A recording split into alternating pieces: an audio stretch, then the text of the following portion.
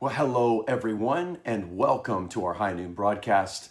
This is Jason Sciscoe, and we are excited to share with you another edition of Triumph Today.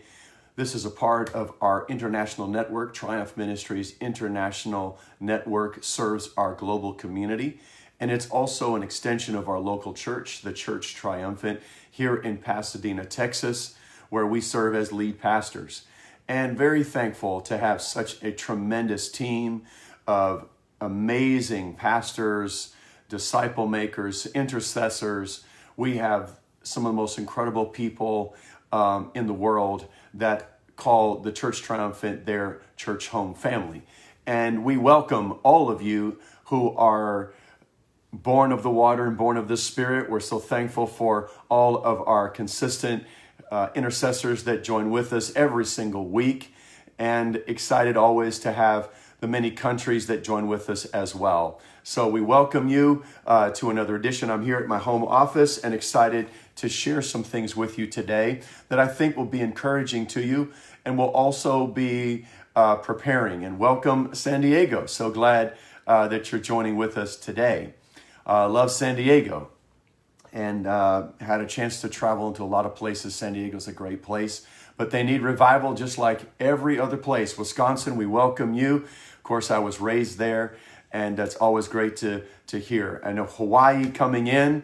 Uh, we're just going to hang loose with you today and pray the prayer of faith with you that God's going to bring revival all around the world. We see Michigan uh, joining in, Germany joining in again with us. I just talked to our missionary there a couple of days ago. And of course, uh, Canada joining in, Tennessee, so many people, Columbus, Ohio, where my family uh, resides now. My father and my mother are there. What a great, great, great place. Of course, my sisters and all, all my family. I'm the Texas Sciscoes. So, uh, but today, uh, we just want to open our hearts and open our spirits and be so thankful for the opportunity uh, to join with all of our brothers and sisters, all the pastors and teachers all the evangelists, everyone that joins with us, not only live, but also when you can join with us, all the outside walkers that listen and pray and walk through the neighborhood, everyone that drives in their cars and listens. Uh, and prays along with us, those that are connected with us right now. We today are preparing ourselves. This is a time of preparation for the body of Christ as we are shifting gears in the month of August. We are going to see much more political intensity showing up over the next couple of weeks. We will have, um, with that, I think, some more uh, demonstrations and protests that will be happening uh, just as a part of the uh, wanting to get attention for their particular issues as we are counting down towards election times. We are still dealing with the coronavirus uh, complication in our lives, to call it that, and uh, just I was on the phone yesterday with more that were just diagnosed, so we feel it here, and I'm sure that you're feeling it where you are. Um, and of course, if you're part of Church Triumphant family, you know someone and you're praying for someone right now. But God is faithful and He's helping people to recover. And I think that's also very important for, for, for the world to know that not only are there people being infected, but the majority of people are recovering and coming out of it. But we want to pray, of course, around those issues. Um, we also sense that there is going to be a ramping up of spiritual intensity where there will be demonic and uh, different kinds of issues. So I want to kind of open up today with us just praying uh, a prayer of just uh, alignment with God. We do this every day, every time we're together, alignment and rhythm, alignment and rhythm. And we're just asking God to help us to stay in step with Him and to not let fear govern our lives. Father, we come to you today we thank you for all who have uh, joined in with us. And we're so thankful, God, whether it's the Midwest or the West Coast or the East Coast or whether it's somewhere here in the South or in Texas, God, we're so thankful for all of our all of our partners that are connecting with us for North America, Central America. We have Europe that connects with us. Africa's connecting with us. Sometimes we even have Asia uh, connecting in with us. But we're, we're thankful, God, that there are people all around the world that are so vigilant, that are so dedicated, that are so committed. We thank you, God, for worshipers because you are looking for worshipers. And I know your eyes, they go to and fro in the earth to show yourself strong to those whose heart is made perfect towards you. And so today we want our hearts to be perfect. We want our minds to be submitted. We want, oh God, to be transformed today by the renewing of our minds. We know, Lord, every day, oh God, is a day that we must serve you. Every day you need us, oh God, to faithfully express the light that you have given to us in a dark world. We must love, oh God, in the face of those whose hearts are becoming hardened. Oh God, we must give, oh God, in a world, Lord Jesus, where many people are just focused on themselves. Oh God, we must speak peace where there is confusion. We must speak faith where there is fear. But first, oh God, we must get our strength from you. We must come into your presence today. And so we pray, Lord, spirit and soul and body would be set aside, set apart, and sanctified, that we would be meet for the master's use, that we would be, oh God, uh, pliable, oh God, that we would be, we would be humble, that we would be able, Lord Jesus, to adapt and to adjust and that we will be immediately obedient in Jesus' name. Strengthen my will to be obedient to your voice in Jesus' name. We thank the Lord for that. Now let's let's pray the armor on together. We take our loins girded about with truth. We take on the breastplate of righteousness, the feet shod with the preparation of the gospel of peace, the shield of faith, the helmet of salvation, and the sword of the Spirit, which is the word of God. Now we confess the seven spirits of God will, will guide us and direct us as they did Jesus.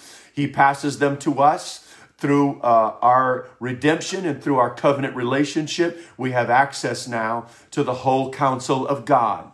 And so we pray in Jesus' name for the Spirit of the Lord that we would have mastery in our lives that you would cause us, O oh God, to be temperate in all things and strive for the mastery.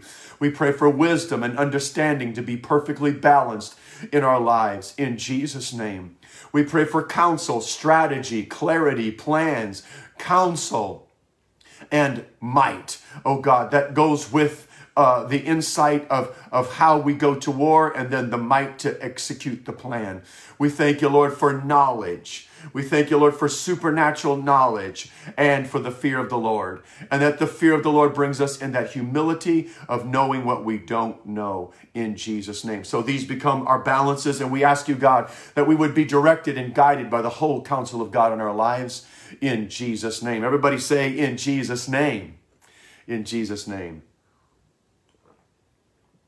So, I've talked about this consistently, and I'm just going to bring it again to you today. And we're going to just talk about one aspect of it. But as I was coming into 2010, I did an extended fast and asked the Lord for direction. And He said, Don't ask me for a year, but rather ask me for a decade. I want to speak to you in decades. And so, he told me about the next decade, and I didn't even realize what he was saying is that he was actually talking to me about 20 years and not 10 years because he used the word decades. I was thinking that it would be an increment of 10 at a time that he would show me. But what he was saying and what I was understanding is that there would be a bridge between the decade that was coming of preparing ourselves and that I needed to hear clearly what God was saying, and I needed to be ready for what God was about to do in the earth. And so I had several different uh, uh, times when God visited me and talked to me, but there were two particular times uh, in which I have begun over the last 10 years to really prepare because I was, I was uh, anticipating those things happening between 2010 and 2020. But I realize now, as I came to the end of 2019, God began to speak to me again as I was asking him about it. And he said, he said, I told you next decade, not this decade. I gave you 10 years to get ready for it. So now what he said for this decade, which when he was first referring to it, it was 10 years to come. So coming into 2020, he said that things would begin to move very, very fast.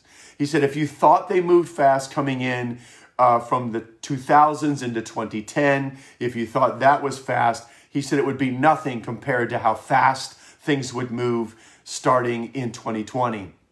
And so he said you're going to have to change your systems, You're going to have to change your structures and you're going to have to adapt to new ways of thinking for the speed of change that is happening in the world. And he, and he brought me to the, to the thought process of Jeremiah that said, if you are running with the footmen and they weary you, who's going to help you when the horsemen come? And so, and I'm just paraphrasing there, but he's basically saying is that is that if you're running and you're just with the with, with those that are running a marathon, and then all of a sudden here comes a cavalry, a, a, a cavalry riding in with their horses is going to be much more efficient and going to be able to ride so much longer for so much farther. And he said, if you're wore out just running, how are you going to run uh, and keep up with the horses? And so he's basically saying to us is that is that you're running now, but you're going to need something to help help you. You're going to need a horse. You're going to need something else to to expedite and to move you forward. And so this is new systems, new thoughts. And of course, when you come into the the last days, what does the book of Revelation tell us? It tells us what? That there are horsemen that are going to be released in the earth. And so this is also a window into the end times of we're, we're going into the era of the horsemen or the apocalypse or the end of days. And so we have to adjust ourselves. That's why yesterday I talked to you about it's time to get tough. We have to toughen up a little bit. And, and you know what? All of us Americans, Westerners, we tend to be a little soft. And so we're used to our comforts, and a slight little thing is off, and we complain and complain. And we, we really don't know how most of the rest of the world lives uh, until you travel outside of the United States and see what a third world country is like, what billions of people who have never seen a computer or live hand to mouth from their rice fields right to their doorstep, not even in the economy at all. Uh, and for us who are just so spoiled uh, that we complain over the smallest things, uh, we have to adjust our thinking a little bit and endure hardness as a good soldier. But we have to also adjust our thinking and our strategy and allow God to give us a horse, in essence. So, an, a second part of this is that he told me that there was a shift that was coming uh, where we were seeing what we would know as conservatism beginning to go away because there was uh, a, kind of a wide scale teaching uh, from uh, preschool all the way through university, that there's a whole new system of thought that has been pumped in, uh, a whole new ideology that this generation coming coming up, they do not have context to the same things that maybe the World War II generation did when they influenced the baby boomers uh, or when they in- influenced the Gen Xers. And so that generation, the greatest generation that they call it, is faded away. And we don't understand values. We don't understand uh, freedom. We don't understand democracy. We don't understand capitalism. We don't understand personal responsibility. We don't understand freedom. We don't understand rights. Uh, it just seems to be a lot of emotion and very much living in the moment. Uh, very little context of history is even being taught and even being understood right now. And so he said that there would be a, a shift that would become anti Bible, it would become anti Christian, anti church. And with that, uh, there would be persecution that would come.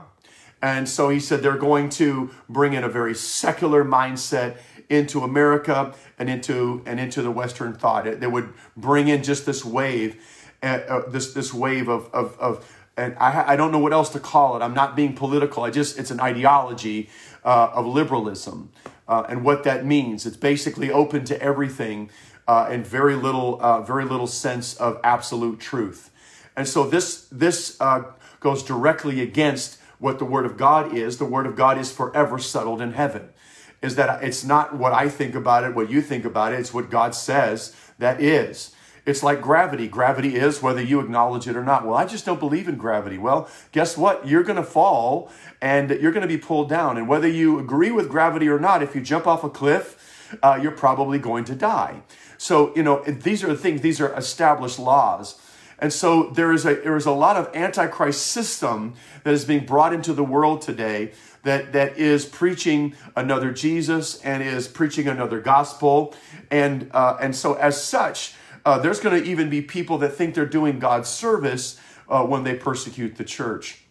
So, some other things that God said to me is that it would be a part of that is that there would be a change in institutionalized uh, religion. is that there would be uh, established churches, there would be established organizations, there would be acceptable places where people could go on a Sunday morning to a building and have a service. But there would be a lot of uh, of things that would come directly against the church that would decentralize it and would push it out into homes and push it out into house churches. And so he said there would be a grassroots movement that would have a that would have a flame of revival that would spread all around the world and that nothing and no one would stop it. These were prophetic words that God gave me over 10 years ago. And I've been trying to prepare myself for this, think through these layers and understand them. And now that we're being pressed and we're moving and things are changing and we're coming into this arena, we, we are seeing this. A fourth thing was that the alpha cities would be reached. And that was a separate encounter that I had, which I've talked to you about before. So I do believe that there's going to be an extensive and great outpouring of the Holy Spirit. Now, here's the point that I want to focus on again today is that he said that persecution was coming. He said, but there would be a space of grace. There would be a space. And depending, this is what he said, how fervent the church prays and how effectual the church is in their praying would determine that time frame, how long the reprieve is. So I'm going to give you some scriptures to pray again today about how to uh, extend our reprieve and why. And then we're also going to talk about the concept and the principle of persecution just for a little bit and what that means to us already now, what is already happening to us now, not even just what's coming, but it's what already happening now. And I want you to help you to get your mind around this and not necessarily uh, look at it from a totally negative perspective, but that this is uh, part of how the kingdom of God uh, operates in this context of contradiction in the earth.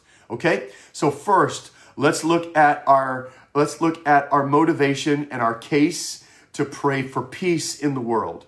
So we go to uh, a classic verse which I have referenced before, and we're going to look at it again today uh, 1 Timothy 2. Now, there are four uh, different channels of prayer, to use that terminology, uh, that, are, that are used here.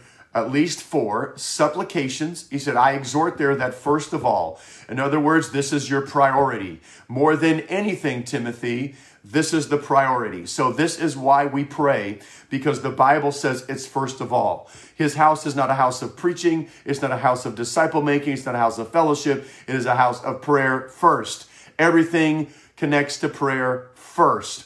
I exhort, therefore, that first of all, supplications, prayers, intercession, and giving of thanks be made for all men. Now, what does this mean? Supplications mean the law of first order would be the highest level. So let's go through these quickly. For those of you that have heard this before, it'll be a nice refresher. For those that have never heard this, this will help you.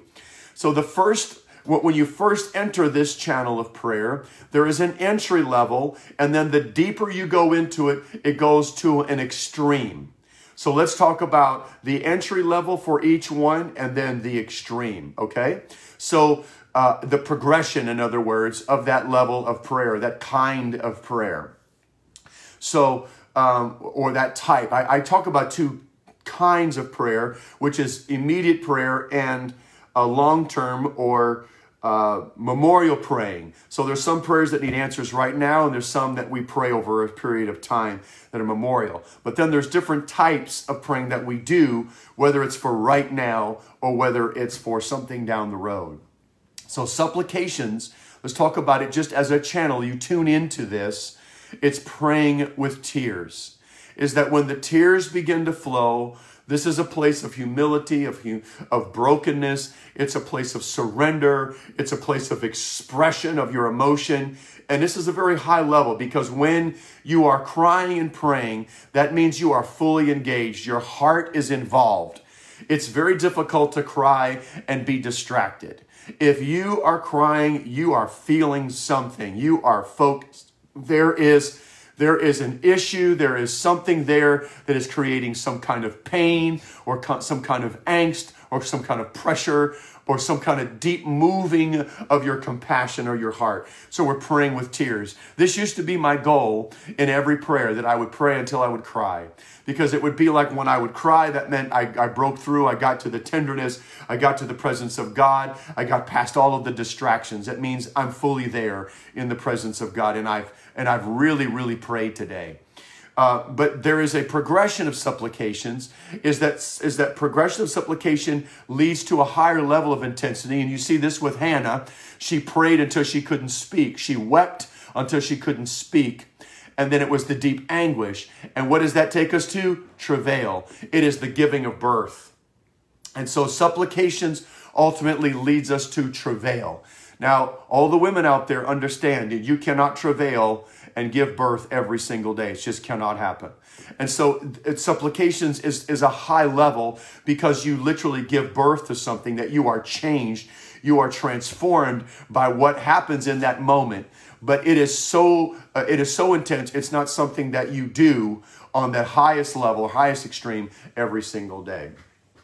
Uh, prayers, secondly, prayers. This is different. This is almost the antithesis of supplications. This is uh, this is a uh, this is a, a level of prayer that has very little feeling with it. This is deep fellowship communion praying. This is that this is that talking to God and sharing your heart with Him. But this is it may lead into supplications, but this actual channel is much more around the friendship and relationship and fellowship and communication. So the entry level for this would just be very honest. God, I'm having a hard day today. Today I'm feeling very tired. You know, I'm just I'm just a little bit distracted. This is praying. This is that dimension of just relationship with God. But I want to talk to you today. I want to open my heart to you. I want to get in the spirit. I want to hear your voice. But I'm just showing you where I'm at, Father. I'm acknowledging you. So this is what we're doing when we're praying. Now, where it goes in its extreme place is a place of hearing God in a very deep and intimate level. Is that while you're in that moment, you get you get more and more transparent. You get deeper and deeper in the intimacy until there is that awesome presence of God that we're walking with God. And the Bible says Enoch walked with God and he was not, for God took him. He got so deep into praying that God just took him. Intercessions. Now, intercession is standing between and mediating. That's what intercession is. To intercede means I am accepted um, I have access, but someone else does not. And so I am uh, first interceding to God. God receives me, He accepts me. I have relationship with Him. I'm already seated with Him in heavenly places. And so I can come and talk to Him. And because of my relationship with Him, He will hear me when I talk about someone else. And so this is that this is what intercession is to intercede to stand between is that Abraham as the friend of God now was in this deep level of intimacy. He gets his prayer answered. God tells him next year you're going to have a son, just like I told you. Sarah laughs and he says, I heard you laughing in there. Oh, no, no, they're having this moment. And then finally, God tells him, Okay, it's time for me to go. And when he goes, now he walks with him, and that revelation knowledge is flowing out of that intimacy and he comes into intercession now. And in intercession, he says, I'm going to Sodom. And, and he literally, the, the Hebrew says, he got in God's face. He literally stood face to face with God and stopped him. No, no, wait, before you go, before you go, let me, let me stop you and intercede for those people. And so that's the first thing we stand between. It is to make up the gap. There's a gap somewhere to, to, to stand and make up the hedge. There's a there's somewhere the protection has been broken. And so that's intercession. The second part of intercession would go it would go into uh, into spiritual warfare. Here we are not we are not just asking God and, and imploring God and, and asking for favor for someone or for forgiveness or for mercy, but now we also turn and we see how Satan is walking through that breach, how he is how he's gotten into that gap and what he is doing to torment those people or to afflict those people. And so now we are interceding in spiritual warfare we're standing against in Jesus' name. And this goes into full on warfare. There may be uh, a powerful uh, experiences here where the angelic will assist you and many, many other aspects of the prophetic and apostolic dimensions of, of the gifts of the Spirit flowing out through the body of Christ with the fivefold ministry. Those things together in intercession are very powerful of breaking down hell's gates and releasing the captives. And then finally, giving of thanks. Now, giving of thanks is mentioned last because this is the, this is the entry level for all prayer is that we enter into his gates with thanksgiving into his courts with praise. Uh, be thankful in him and bless his name for the lord is good and his mercy is everlasting and his truth endures to all generations. These other channels you move in and out of you should always be giving thanks Everything you do, intercession with thanksgiving, prayers with thanksgiving, supplication with thanksgiving. Every type, every type of, of prayer also has thanksgiving there. It's the gateway that's always open. It's the dimension that's always accessible. In everything, give thanks, and for everything, gives thanks. This is something that God is always looking for, is a, heart of thanks. So can we stop for a minute right now? Now we've kind of got a refresher on these four, and we're going to lift our hands and we're going to thank the Lord. Right now, God, we thank you that you have given us many ways to approach before you and to efficiently carry out your will. Father, we thank you for the privilege of interceding. We thank you, God, that we can come boldly before your throne to find grace to help in the time of need, not just for ourselves but for others. That favor is a huge factor. And that favor that works in our lives is also there to work in the lives of others, that we use our favor to help others. We thank you, God, that we can walk with you in intimacy and that you care about every detail of our lives and that you whisper to us and we hear you and you are concerned about what is going on in us. And so we can cast all of our care upon you. I thank you, Father, for, for supplications, that you, you do not run away from my tears, or you do not look down upon me in my anguish. You do not run away from us when we are at our weakness, our weakest, but you run to us. Father, I thank you for the right and the privilege in the spirit to be able to travail until there's a transformation. And I thank you, God, that you've given us the capacity to be transformed into your likeness in Jesus' name. All right, thank the Lord for these. All right, now what he's saying is these are your four types of prayer, and this is your priority. Uh, Timothy, let's go. Let's pray for what? And for who? For, for kings and for all that are in authority. And what's the reason? That we may lead a quiet and peaceable life. So we are supposed to be praying for those who have authority and for those who are the kings, those who have the word that can speak the word and change things, we are supposed to be praying for them. We're supposed to use all kinds of prayer for them, being thankful for them, interceding for them, sometimes talking to God very personally about how we are in situations with them. And then uh, there is supplications we're birthing, uh, we're, we're praying and travailing. Sometimes it's even warring uh, about it. And oftentimes it's warring because, especially now for us here in North America, when you're in an election year in the United States, uh, then there, there is, a, is a huge battle over who has the authority. And so we are supposed to be praying for kings and for all in authority. In other words, those who get into authority and those who have authority. We're supposed to pray that God would direct them and guide them for this purpose, that the church can have a quiet and peaceable life. Now, this is my primary prayer that I use to say, God, help the church to be awake so that we do not have to have persecution to do your will. We're supposed to have a quiet and peaceable life in all godliness and honesty. So, as long as we are in all godliness and we are honest, he said, this is good and acceptable in the sight of God our Savior. In other words, God is happy when we pray for this. He will accept this prayer. It will be received before God. And he says, why? Verse 4 who will have all men to be saved. He wants everyone to be saved. Now, we're going to talk about persecution in just a minute here, but persecution pushes people out of of the of the place where they're being persecuted and where are they heading towards some place that has peace okay so it is in the peace places and in uh, the quiet places that it seems that more souls are supposed to be able to be saved. But if we have peace and quiet and we are not godly and we are not honest and we are slacking off and we are not doing the will of God and we're thinking only of ourselves and our only of our own comfort and we're not pleasing the Lord with our lifestyle, then you know what? Then, then, then there is going to be some trouble that is ahead. Now, I want to tell you, it is impossible to escape all persecution. When I'm talking about this on this scale of 1 Timothy 2, we are talking about full on uh, murderous uh, uh, persecution where people are being martyred in the streets and dragged into prisons and shutting down uh, the whole operation or trying to shut down the whole operation of the church. This is what Paul is praying against and talking to them to pray against because he had suffered much for the gospel. He was not afraid to suffer. Matter of fact, he gloried in his tribulations. But he is saying we want to pray that we can do the will of God as efficiently as possible.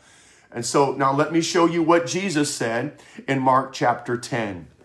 Now, this is a powerful principle here, and the disciples were astonished at his word. Verse 24 Jesus answered again and saith unto children, How hard is it for them that trust in riches to enter into the kingdom of God?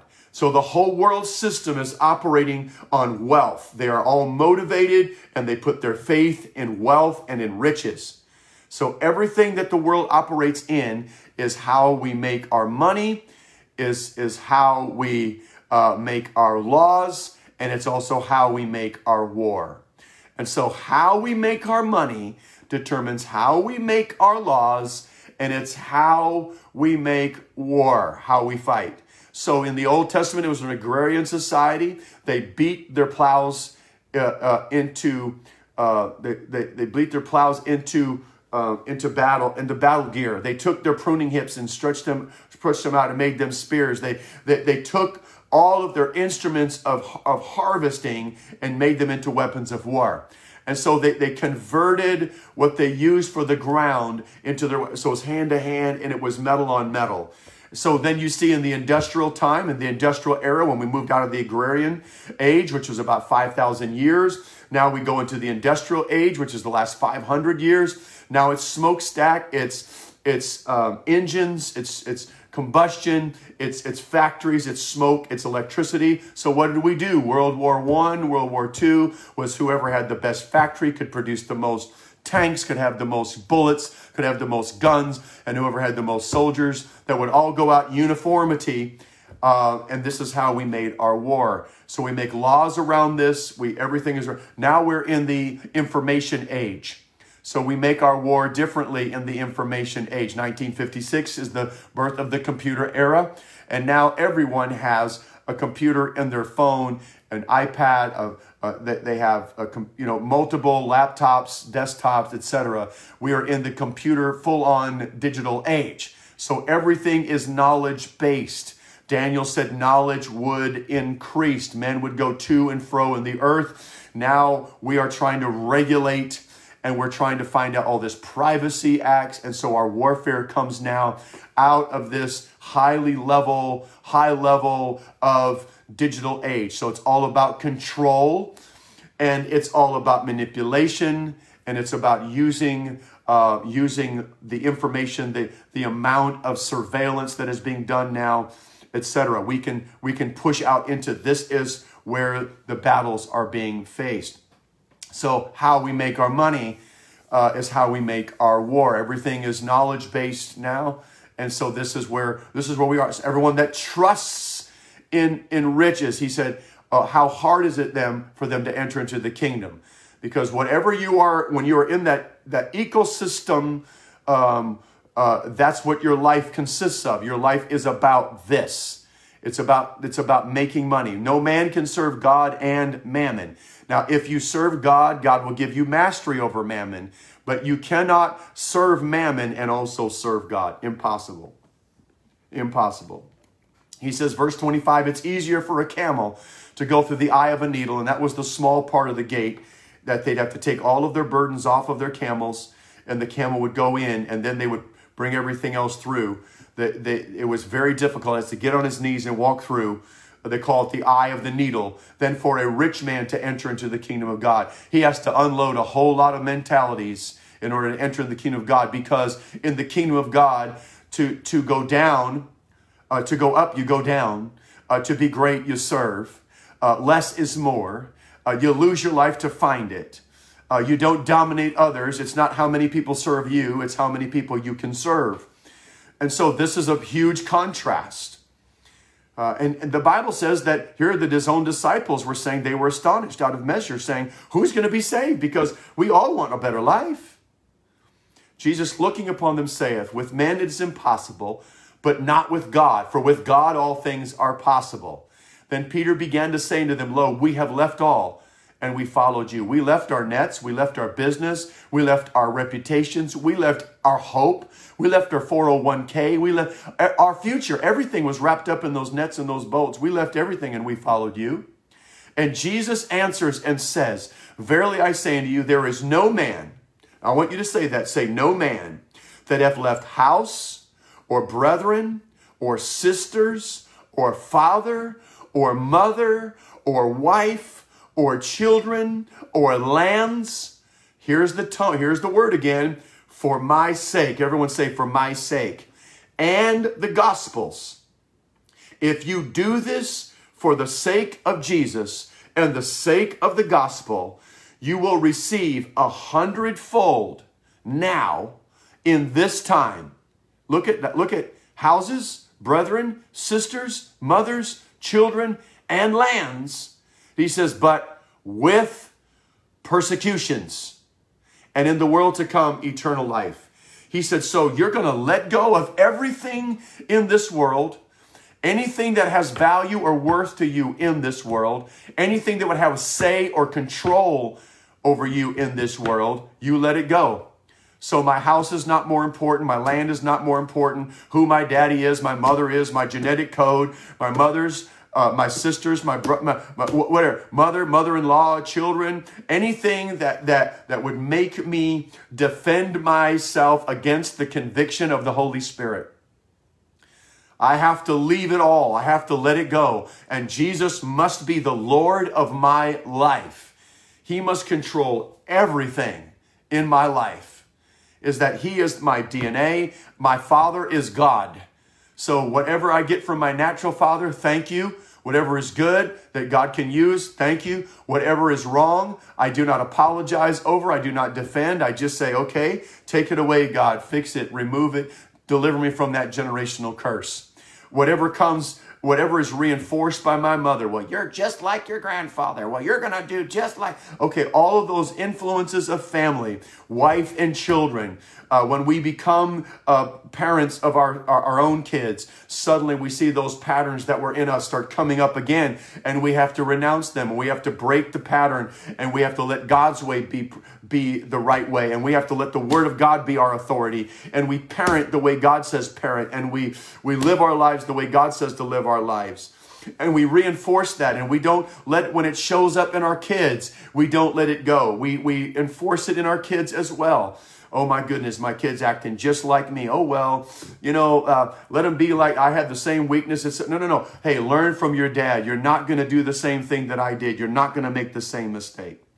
So he said, we have to give it all up. We give up all of that, our lands, our houses, everything. He says, you're going to have this. He said, You're going to give it all up and you're going to have persecution. When you do it, it's not going to make sense. It's going to go against everything in the world. It's going to go against what's in the darkness. It's going to go against the selfishness. It's going to go against the wickedness. It's going to be an, it's going to bring conviction to other people. It's going to be light shining in places that people don't always want the light to shine. And he says, so you're going to be persecuted because you refuse to go along with the world's conformity. You're not being conformed to the world, and so they're going to be persecuted by the people that are in the world and that love the world. But he says, watch this. But in this time, when you give up all of that, you're going to get something else. The kingdom is going to bring you houses and brothers and sisters and mother and children and lands. In this world, you're going to have a hundredfold blessing. Everyone say hundredfold. And so it's going to give you an access to things that you would have never had access to had you not renounced your life in this world. When you enter the kingdom, there's a whole nother ecosystem of blessing. He said, but it comes with persecution. in the world to come, you're going to have eternal life. Many that are first shall be last, and the last shall be first. So he's trying to explain this to them, and it's difficult for them to get this, to get their minds around persecution. Now, I'm going to go back uh, even further to an, an original teaching of Jesus that's going to help explain it, I think, just a little bit more. And then we'll move into the book of Acts for one more scripture there where we can kind of apply it. But what is the hundredfold? What is the hundredfold? Now, in a practical sense, a hundredfold return on my investment in the kingdom of God. What does that mean? What does that really mean? It does not mean that I'm going to get a hundred, everyone gets a hundred houses, everyone gets a hundred acres, you know, for every one acre of land that you give up. It doesn't mean that God gives you a hundred mamas. It doesn't mean that uh, your family. no, no, no. That, that's it's it's not it, it, in a practical sense. Try to try to even figure that out. It wouldn't work. What it means is that in the kingdom of God is that we have all things common. Is that in the kingdom of God, I may have a mortgage that I'm paying on my house, but there are a hundred other houses that I could go to right now of people of God that I could knock on their door and I could walk in and I could sit down with them and they would feed me out of their refrigerator and they would give me a cup of coffee. Okay. And there are a hundred people that could come to my house that I would know. And I've had hundreds of people in my home and I would feed them and take care of them. Why? Because it's not because they're my blood family. It's because they're a part of the body of Christ. It's because they're in the kingdom and I share the same affinity. I have the same name now, the name of Jesus. I have the same experience, the Holy Ghost. I have the same Father, which is God. I know what it means. I know what it means to be born again. And when you've been born again, we share an affinity and a connection and a brotherhood that is absolutely, uh, that is absolutely uh, trans, uh, transcendent.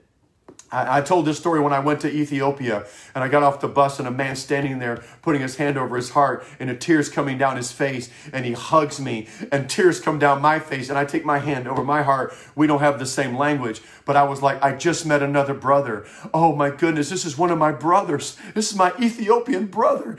And I was so happy to see him like I had known him my whole life and I hugged him because I felt the love of God so strong in my life. When I evangelized, I had families that took me in. I stayed with them. No, don't stay in a hotel. We want you to stay with us. I, they have my picture up on their wall because I became a part of their family. Every year I was there for a couple of weeks and we just, we connected. We did life together uh, seven or eight years in a row, I did a revival for them, and I just became just so close to them. This is the body of Christ. This is what he is saying. When you give up all of that in this world, this is what you find.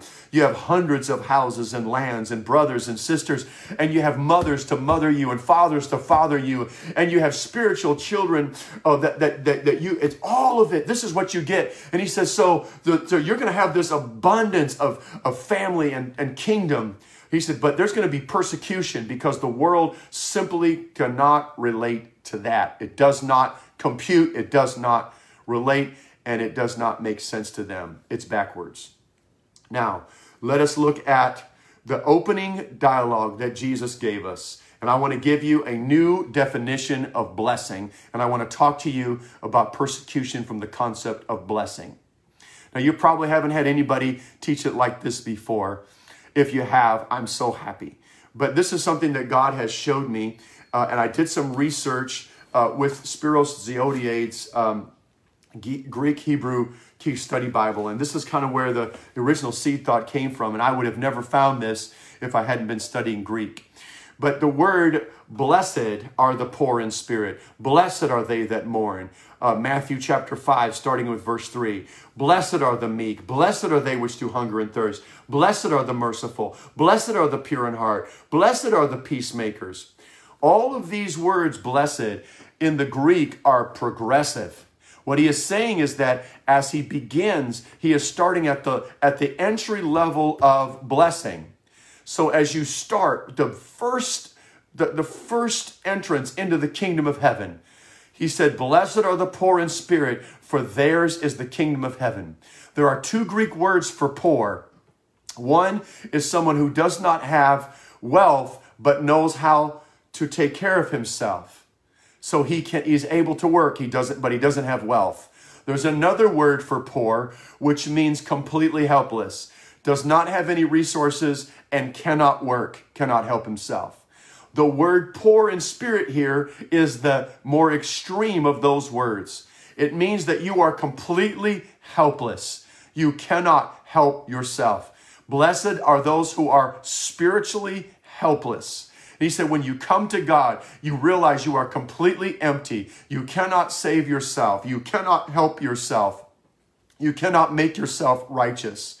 And he said, that's the blessedness. That is a state of being blessed, is that when you realize I am spiritually poor, theirs is the kingdom of heaven.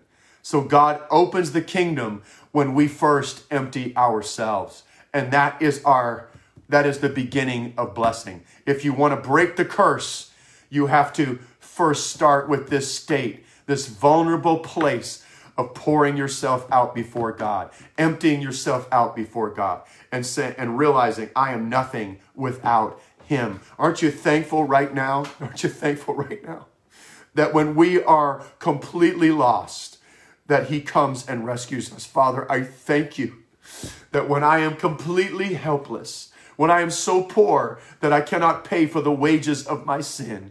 You went to the cross for me and you died for me. I thank you, Father, that you paid the price. You, you, you, you, you, you, were, you were able, you were able and you were willing to do it for us in Jesus' name. Can you thank the Lord for it right now? I'm going to go a little bit faster through these others, and I want to show you the progression. The meek, okay, the hunger and thirst, those who hunger and thirst, merciful, now, pure in heart, by the time you get to verse 9, it's not just what you lack, it's now what is coming into you, what you're beginning to do. You are now a peacemaker. From being a peacemaker, so let's look at the progression poor in spirit, those that mourn. We mourn for what we've done that's wrong. We mourn for our, our mistakes, for our failures. We, we mourn, we mourn over, over our lack.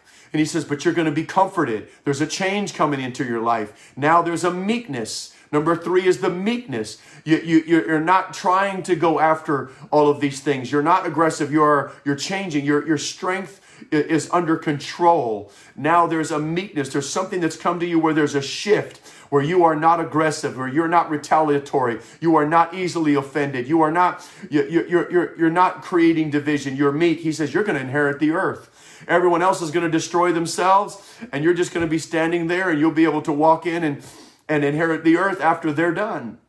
And so he says that's what's going to happen. You're going to inherit the earth. The meek will. Uh, not, not the violent. The violent won't inherit the earth. The meek will inherit the earth. Blessed are they which do hunger and thirst. Now there's an appetite for righteousness. He said, You're going to get filled with righteousness. Now that you're filled with righteousness, what is this? Now you begin to be merciful, for you, you become merciful. You've had mercy given to you. Now you have mercy in you. You are full of mercy, full of righteousness. Do you see the progression? Now you're able to give mercy to others. From there, you have a pure heart. Your heart has been purified before God, and now you can see God. You have revelation. You have insight. You, you, you begin to see things in the kingdom. The pure in heart, your motives have changed. Your, your heart is pure. You want only the things that God want. You're righteous. And from that righteousness, the pure in heart causes you then to be able to see clearly. You're navigating now in the kingdom. The resources are plain. The understanding of the word of God is there. The principles are operating in your life. You're in the flow you're in the flow of this.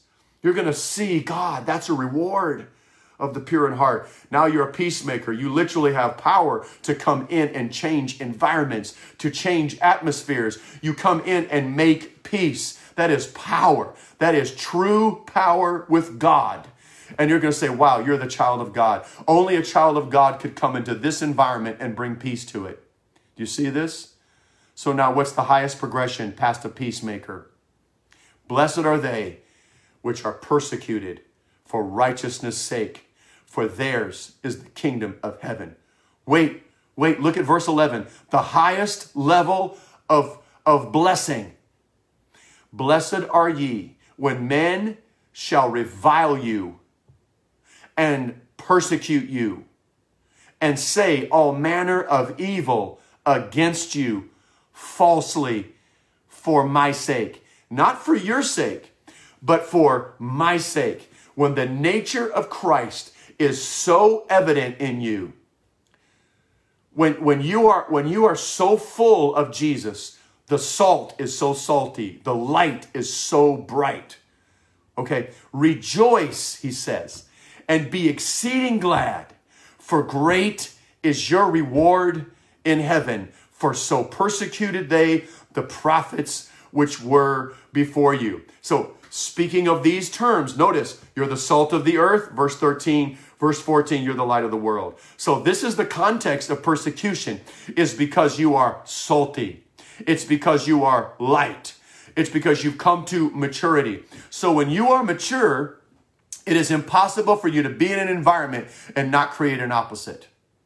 When you are not mature, the environment is kind of flowing in and out. It's kind of hitting you, and you're still in that state of, of trying to reconcile. You're still trying to develop. You're still trying to grow. But, but I'm telling you that, that there, is, there is something that has happened. There's a formation that happens is that as we see the church getting stronger, as we see the conviction becoming, becoming more obvious, and as people are praying and people are fasting, we won't bend, we won't break, we won't compromise, we won't back down, we won't change. It doesn't matter what you say about me, it doesn't matter what you think about me. I know who I am, I know what God has called me to do, I know why I'm here, and I'm going to keep doing it. And if it costs me, it costs me. When you get to that place in your life, that's when it is full on. Uh, that is it is full on war. It is full on battle. It is a it is a direct now now it is no longer the enemy is operating in persecution. Now all he has left is accusation. So the the, the highest level of spiritual warfare is when you are being accused. And so, what did the Bible say in the book of Revelations? And the accuser of the brethren is cast down, and they overcame him by the blood of the Lamb and the word of their testimony. I kept my testimony. I didn't break down under the persecution. So, in this information age, what is the war? The war, we're being persecuted right now by shutting down our posts, by, by, by uh, uh, silencing certain voices, by, by uh, shaming you for standing up for things, but you know all of this hate police that is out there, calling it hate. Uh, uh, hate speech or whatever. You cannot even read the Bible and tell someone they're a sinner without that being hate speech. So, folks, uh, nothing can be wrong anymore. Nobody can be wrong. Nothing, there, there cannot be any principle where we say what is right or what is wrong because it's only what's relative to you. And what happens is they keep pushing the line. How far are they going to push it? Folks, they're already pushing it now that homosexuality is not enough. Now they want to say that it's okay for pedophiles. They just want to defend the pedophile. And, and so what we just have to accept this because they were born this way. Folks, this is the world. This is the world. Uh, in the days of Lot, here is one man standing up and just saying, No, you're not going to do that. And they beat down his door and tried to kill him. In this generation that we live in today, men love darkness because their deeds are evil. And when you start shining a light, people don't like that. Persecution comes from people that have already been convicted. It comes from people that already feel the pain of truth that has hit them and they don't want to change. And so, what they want to do is instead silence the voice. And they think if I can shut you up, then the conviction uh, won't ring in my ears anymore, and I can go on doing what I want to do and get away with it.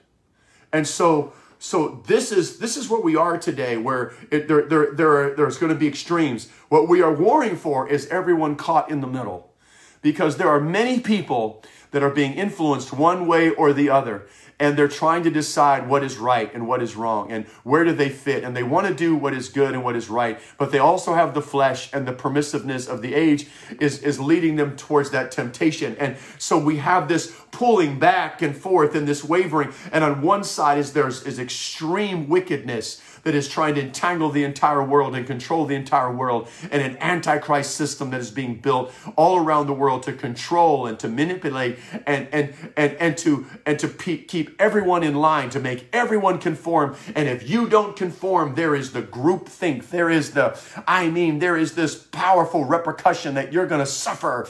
I mean, the peer pressure is going to be so intense.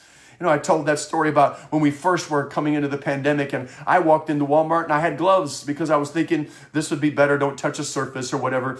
And but I, I just scratched my nose and somebody, oh my goodness, you touched your face. And they were yelling at me out in the parking lot because I touched my face. I mean, I didn't even, it wasn't like I even touched my nose, I just touched my face and he's yelling at me. It's, this is what we have this pressure be not conformed. There's this conforming. You will, you will, you will, you will. And then the laws that are being passed and the, and, and, and everywhere is the plexiglass. Ah, you will conform. You will break. Okay, that's the system. There's a system behind that. And there's a lot of well meaning people there that are doing the best they can to try to help people that are right in the middle of all of that.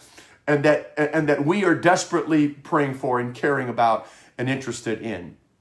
And then there's this other side that is saying, you know what, we have to operate and function in the will of God. And, and we have to pray for as many people to be helped and to be delivered and to be free. And, that and you shall know the truth, and the truth will make you free. And it's just because you don't know and you don't have answers and you're in the dark. And so what's going to happen is they're going to say, don't listen to them. And they're going to try to shut you down because what happens every time the gospel comes, it changes people. It changes their life. It changes the way you live. It changes where you go. It changes your friends. It changes what you like and what you don't like. It changes how you dress. It changes everything. When the demoniac was delivered, he, he was naked when he was delivered. As soon as he gets healed, he's dressed and in his right mind. And now he starts a newspaper. The Bible says he begins to publish abroad the testimony. I'm, that's a stretch. But my point is, he began to be a missionary. He totally changed. It's a complete 180. And so when you change, sometimes not everybody wants you to change. And so they're going to fight you over that. There's going to be persecution over that. And so, but I want you to understand that persecution is a reflection of a, of a positive change that has happened in your life when it's for the gospel's sake and when it's for the sake of Jesus. He said, You need to rejoice and be exceeding glad, for great is your reward in heaven. Great, rejoice. I remember I was dealing with a particular church for for a season. And uh, I had some people there that just really didn't like me. And they, they worked against me and they talked against me. And no matter what I would do or what I would say, I tried to even go to them and talk to them. And there was nothing that I could say or do to change their mind. And I'm the kind of person, my personality type is I want everyone to like me.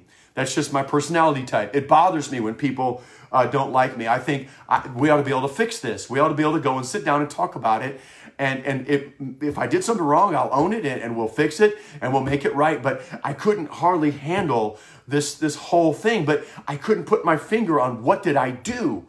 It was the fact that I was preaching a change. It was the fact that I was messing with tradition. It was the fact that their power base was being disrupted. And they knew, they knew that they were wrong, but they didn't want to admit that they were wrong. They knew that, that the change what needed to happen, but they didn't want the change because it meant for them they would lose a certain amount of control or power or influence, and they feared or they had a bad experience or whatever, fill in the blank. And so they were they I was enemy number one because I was preaching a change. And so I remember sit, sit, uh, standing on the platform in the middle of the worship service and, and I was still just grieving over this because I could feel this element of people in this church that just, there was another section that was totally, I mean, thriving as I was ministering. But this, uh, it just bothered me. It bothered me. And all of a sudden, the Lord spoke to me and he said, Woe unto you when all men speak well of you, for so did they, the false prophets. He said, he said, everyone's not supposed to like you. You're so, he said, this means that you have a real ministry. You're really operating in the prophetic if people are resisting you. For so persecuted they the prophets which were before you. He said, I told you to rejoice. I told you to get happy. I didn't tell you to be grieved about it. I'm like, oh God, you know, these people, they're saying things, and I know that, you know, and it makes me feel bad. That's nothing but pride. That's nothing but pride. And, and, and that's nothing but immaturity on my part. And that's nothing but, but lack of perspective. You know, he says, rejoice. Rejoice and be glad. So I got up and I started saying, Thank you, Jesus. Thank you, Lord. People are fighting me. Thank you, God. People don't like me. Thank you, God. People are saying bad stuff about me. Thank you, Jesus. Thank you, Jesus. Thank you, Lord. I, I thank you, Lord. I must, I must be on to something. I must be really touching something in the Spirit. Thank you, God. And when I did that, something broke off of me. And when it broke off of me, guess what? It started to break off of them. And they started coming around. I had to go through the persecution to get the breakthrough. I had to go to the persecution to go to the next level.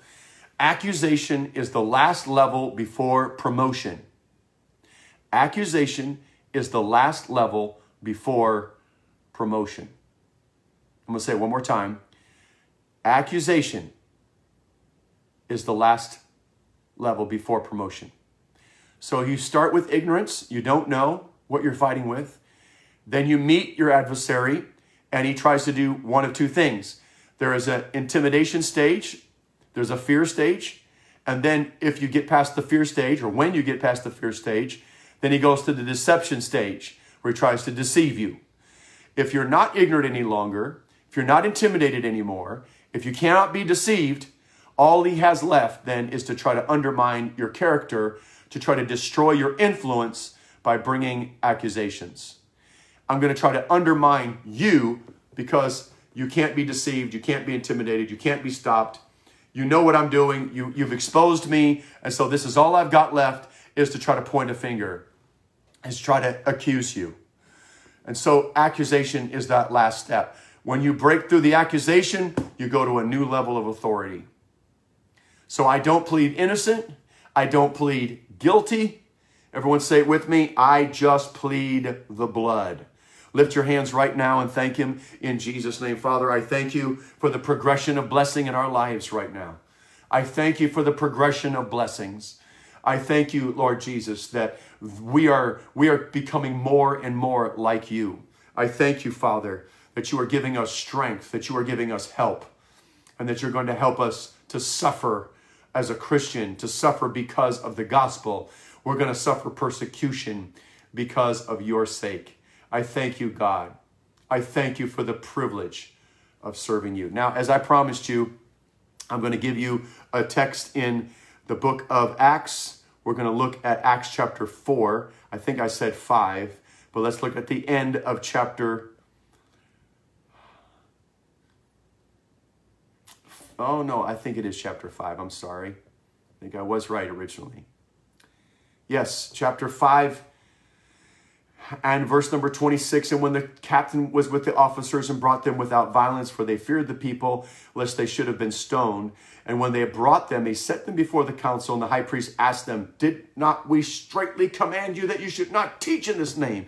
And behold, you filled Jerusalem with your doctrine, and intend to bring this man's blood upon us.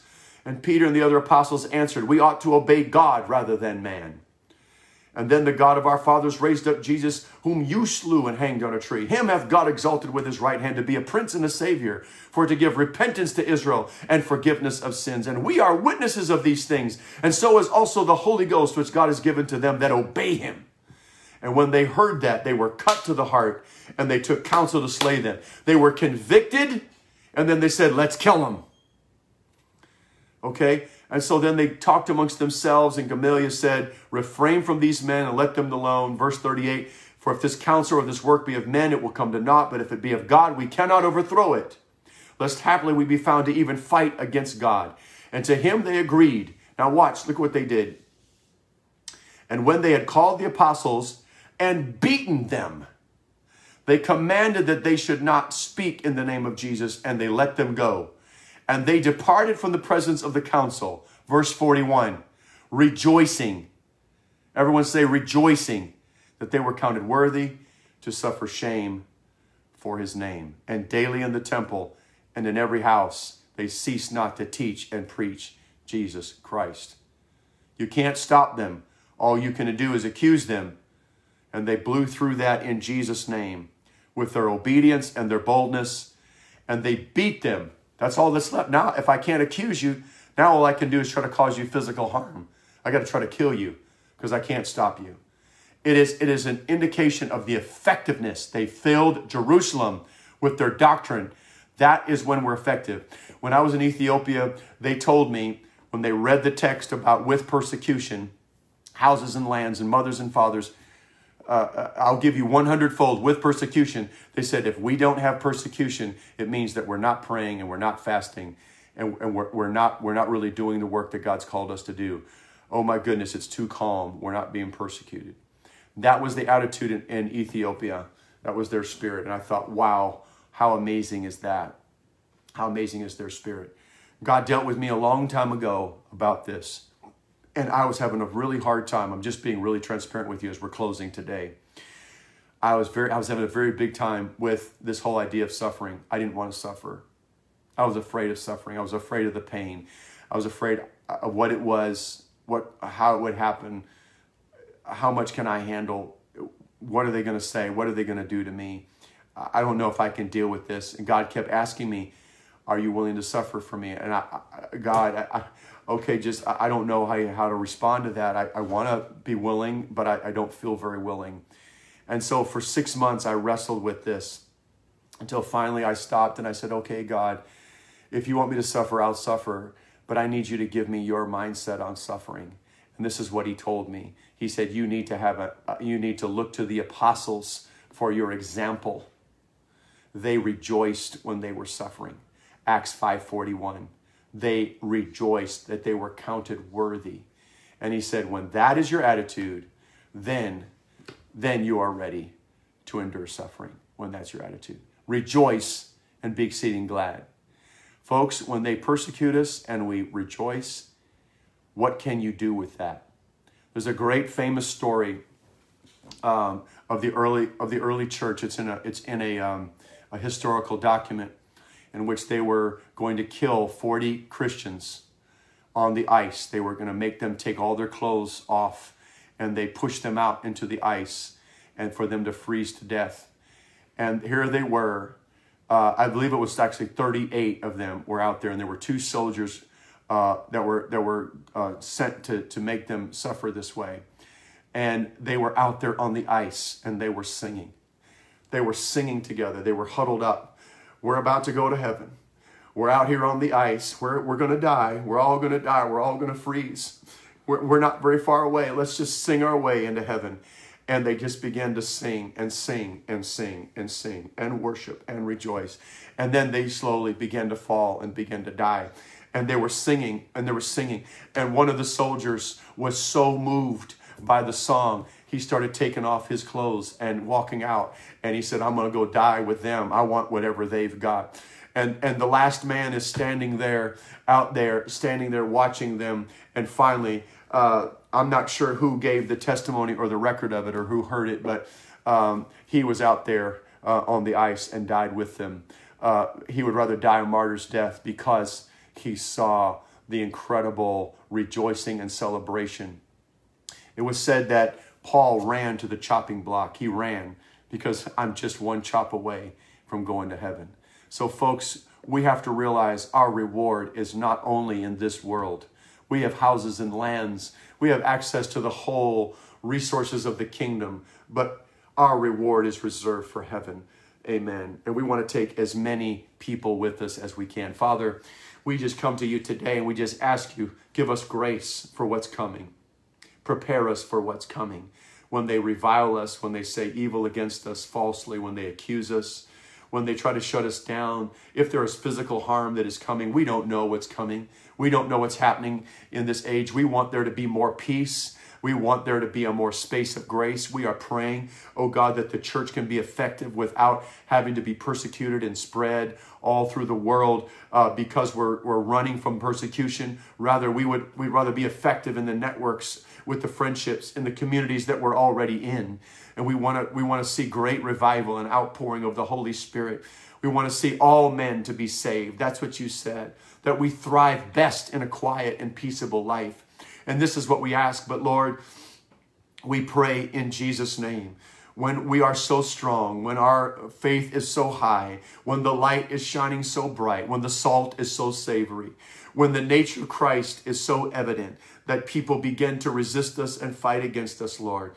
Give us the incredible grace, oh God, to say what you would say and do what you would do. Help us, oh God, to overcome evil with good.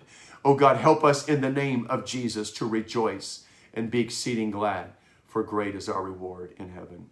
Amen. Amen. Well, today uh, was somewhat of a sobering thought, but I hope I've encouraged you and not made you um, uh, and not made you more concerned. But I want to just tell you that God is with all of us, and uh, God is with all of us. We just walk in the Spirit, and you know what? We're going to be victorious, and we're going to operate like the apostles operated. God's going to use us in extraordinary ways in Jesus' name. And God bless all of you today, and we will see you tomorrow.